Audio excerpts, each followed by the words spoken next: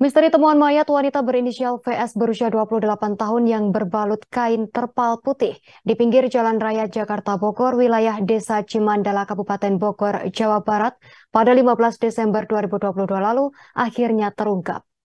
Korban rupanya dibunuh oleh seorang pria sopir angkot berinisial AS alias IR berusia 49 tahun. Diketahui korban merupakan penumpang angkot yang mana pada malam hari kejadian angkot dalam keadaan sepi. Informasi lengkapnya akan dilaporkan oleh rekan Novel, reporter Tribun Bogor. Silakan laporan Anda, rekan Novel.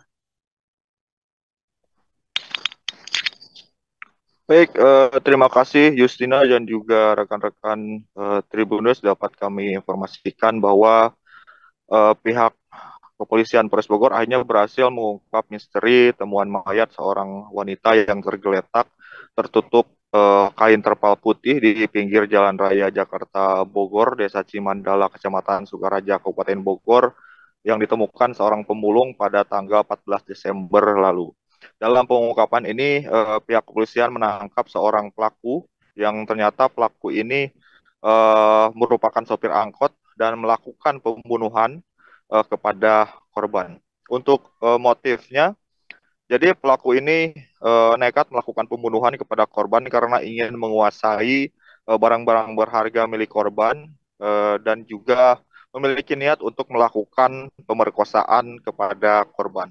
Jadi untuk kronologinya awalnya pada Rabu malam tanggal 14 Desember ini korban ini sepulang kerja dia mengarah ke arah Cibinong untuk pulang ke rumahnya dengan menaiki angkot dari arah kota Bogor.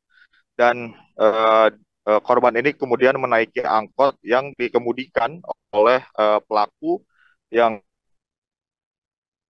um, sopir angkot berusia 49 tahun ini. Dan di tengah perjalanan uh, si pelaku ini uh, kemudian muncul uh, niatan untuk melakukan uh, pemerkosaan dan juga menguasai barang-barang berharga milik korban. Setelah perjalanan uh, angkot ini sampai ke wilayah Cibinong dan kebetulan juga angkot yang dikemudikan oleh pelaku ini dalam keadaan sepi penumpang uh, uh, si pelaku kemudian melakukan uh, uh, percobaan pemerkosaan kepada korban. Namun korban ini melakukan perlawanan dengan berteriak minta tolong dan juga menggigit uh, tangan si pelaku. Si pelaku kemudian mengambil pisau yang uh, dari dalam tasnya yang dia bawa, kemudian melakukan penusukan sebanyak 17 kali kepada area punggung korban sampai korban meninggal dunia. Setelah korban meninggal, si pelaku ini uh, merampas atau uh, mengambil barang-barang berharga milik korban seperti ponsel dan juga perhiasan emas, kalung, uh, gelang dan cincin milik korban.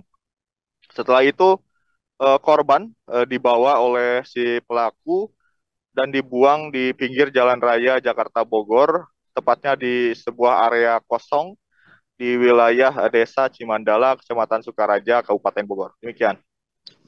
Baik, terima kasih atas laporan Anda, Rika Noval dari Tribun Bogor. Selamat bertugas kembali. Berikut kami tampilkan wawancara bersama Kasat Reskrim Polres Bogor, AKP Yohanes Redoy Sigiro pelaku di bagian depan sehingga pelaku dengan korban duduk berdua di depan. Nah di situ korban e, memainkan HP-nya berdiam diri sambil memainkan HP. Di situlah si pelaku e, mempunyai niat yang pertama untuk memiliki HP tersebut dan harta benda korban karena yang bersangkutan tidak memiliki HP sendiri. Kemudian yang kedua juga ingin punya niat memperkosa korban. Nah saat mulai melakukan aksinya korban melakukan pembelaan diri dengan menggigit tangan si pelaku. Nah di situlah baru akhirnya si pelaku mengambil pisau yang sudah disiapkan oleh yang bersangkutan di tasnya dan melakukan pemusuhan ke punggung korban sebanyak 17 kali. Di pinggir jalan, eksekusi di dalam angkot di pinggir jalan. Setelah kemudian e, korban meninggal dunia, dia mencari tempat pembuangan, dapatlah TKP penemuan mayat yang pada saat itu kita temukan di pinggir jalan karena di situ tanah kosong. Kemudian setelah dibuang, kebetulan di tanah kosong itu ada pasir yang ditutupi oleh eh, warna putih. Nah, maka mayat korban juga ditutupi oleh si pelaku dengan terpal ini. Terima kasih sudah nonton. Jangan lupa like subscribe, dan share ya.